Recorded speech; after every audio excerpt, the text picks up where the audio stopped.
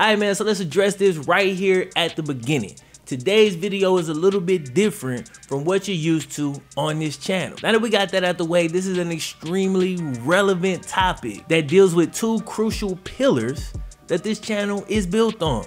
YouTube and football. Today we're going to discuss the growing number of NFL players who are creating YouTube channels. Why I think is hella smart and why I think is hella dope. I love to see these athletes making these chess moves and today we're gonna delve into this topic just a little bit. If you enjoyed this video, don't forget to show your boy some love, man. Click the thumbs up button if you're brand new here, bruh. I drop what happened to videos on all your favorite college players. Subscribe, man. And click the notification so that YouTube, you know, will sometime let you know when I drop. I got a huge backlog of what happened to videos. Go check those out. And also, I drop videos a few times a week. So make sure you always checking back. Other than that, it's time to jump in. Cue the Wayne, baby. Let's get it.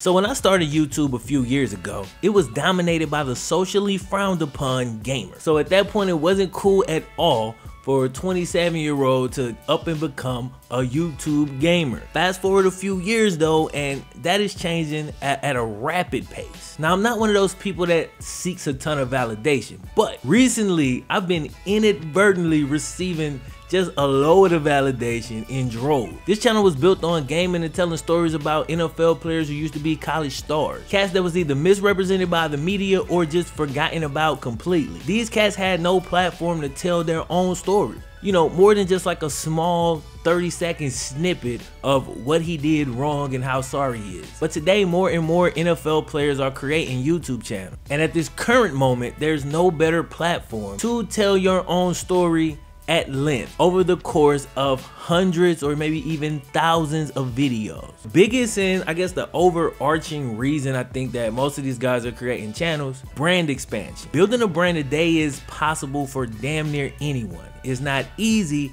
but you can be a beast at cutting grass or building PCs or talking like you could build a brand around anything. And NFL players are a rare breed. They basically been filtered through a funnel starting way back in Pee Wee. Only a portion of those kids get through the funnel and make it to high school. A Portion of those kids get through high school and make it to college, and then a much, much, much smaller portion of those guys get from college to the league. So once you've done this, you've accomplished something that the overwhelming majority of us ex-football players have not been able to accomplish. And if I could build a brand on playing a video game, god damn it, you could build a brand on that feat alone. Now the NFL suppresses its players. It doesn't want to lose control of the player. You never want that guy to gain too much power. So they use the media to kind of shun these guys. If a guy's seen as a self-promoter or a guy who maybe holds out to try to get a better contract situation, sometimes people understand, but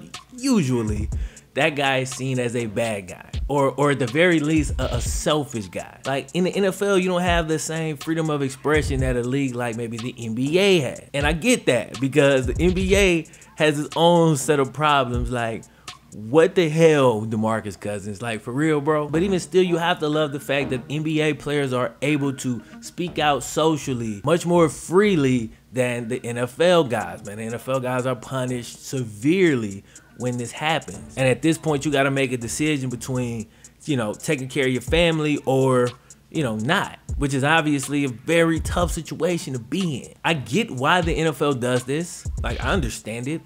I just don't like it, you know? But it is their business, and so they can run it however they see fit. I used to tell people this all the time when I was working in sales. Like, bro, they could drop the commission rates on any of this stuff because they front the money to to pay for the stuff in the first place for you to resell. They they advertise the place and they provide the damn platform for you to then distribute it. The whole structure is there. So you got to do what you can do to manipulate their system or create your own. This is where YouTube comes in. This is a platform that you have much more control over. You can reach millions of people and these people will see you in a way that goes beyond football. That is important, bro. That's why cats like Juju, Jamal Adams, Dawuane Smoot, and Joe Mixon, and Darius Guice, just to name a few off the top of my head.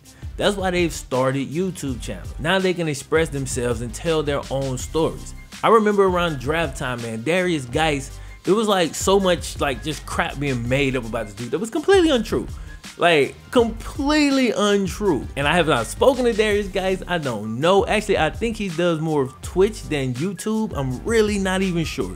But I can almost guarantee you in that moment, if that happens to any athlete, it would be extremely nice to be able to go onto your own YouTube channel and explain yourself fully not live. You can get your story how you want it and make sure you ain't stumbling over your words and deliver it how you want it to be delivered. The same way the media does. Like when they interview you and then they go and chop that joint up and put it in the context they want it in, they deliver that content how they want. It's nice to have some content you could control. What like what made you um want to do a YouTube channel?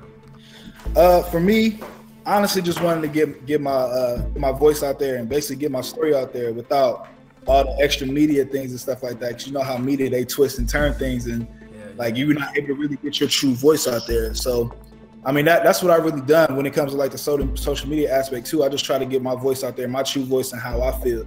So when it came to the YouTube channel, uh, I had the idea of doing a vlog, doing doing a vlogging channel, and just showing my life through my eyes and how and how I basically just showing how I act, you know, on a daily basis and showing how my life goes. Yeah. So I mean that, that's basically what I do throughout my channel, man. I, I just show how the goes, like the ups and downs, like and just just my experience throughout this whole this whole time, all the way all the way through my rookie year and all the way until I ended. You know, I'm, I'm planning on doing YouTube for a long time. So I mean, I'm just trying to show everybody what what the NFL life really looks like. Yeah, I mean I, I, think it's hella smart, man. Now, there's obviously limits because you still represent a company that is the NFL. And as a representation of their company, you gotta behave a certain way, and that's cool. But the thing is, yo, football don't last forever. And YouTube opens up a ton of opportunities. For one, it is a business in itself. For two, exposure to all these people. You got all this attention as an individual not necessarily as a football player. They probably came because you was a football player, but they stayed and they continue to watch because they get to know you, the person, and they rock with you. So even after you're done playing football, they're gonna be interested in what the hell is he doing next? It, it give you those cool things that we all like. It's called options, flexibility. It prevents a person from getting backed into a corner where they can only pursue one thing. If the only thing you can pursue is football, once that ends, and it will, what do you do? This is an issue that tons of pro athletes across all sports run into, like, cause you're defined by this one thing for so long. Once that is no longer there, what do you do? Well, having a YouTube channel gives you options. You're used to being in front of the camera. You can go into media easy. If you want to stay in football, you can definitely do that. Let's talk about endorsement deals. Obviously, some of the top, top players will maintain endorsement deals after their football careers end. Well, you still have an audience that you've built over the course of your career. So when you negotiate in endorsement deals, guess what though? I got I got 1.2 on YouTube, so yeah, where's the bag? They'll have a built-in audience that allows them to move on to their next step after their career. I haven't even spent any time talking about what it'll do for them during their career. Just the visibility and exposure that this creates goes such a long way. And it goes a long way as far as re humanizing these cats, bro, because we put these athletes on this ridiculous pedestal, bro. Like we hold athletes to a standard so ridiculous as if these dudes that play this gladiator sport are supposed to never make a mistake in society. Having a YouTube channel where you can be transparent, it go a long way as far as humanizing you and letting your audience really relate to you, the person. You got the same issues, maybe even bigger, because now this type of money and fame is introduced.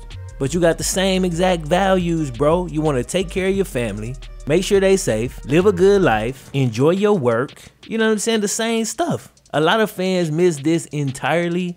Having a YouTube channel can make it so that more fans actually get this and understand this part of it. These dudes may be like the early adopters of this, but bro, this is gonna start happening a lot more, and it's the smart move, bro. It is the move. So I just want to send a shout out to all those cats who have already made that jump. It's an incredibly smart move, a great investment of time, I think. And of course, we'll have to see how this plays out. I mean, I don't know for sure. This is just my assumption, opinion, whatever. Basically just wanted to make this video to just show some love, bro, because these dudes are basically early adopters coming from their profession. Obviously, people been doing YouTube forever now, but I'm saying like NFL players doing legit channels. They got like crews and people probably editing stuff for them. I mean, I would. But creating a separate platform from the NFL can only be a positive for players. It gives you more control and, and ultimately more power. And in this damn tug of war that we call life, the more power, the better.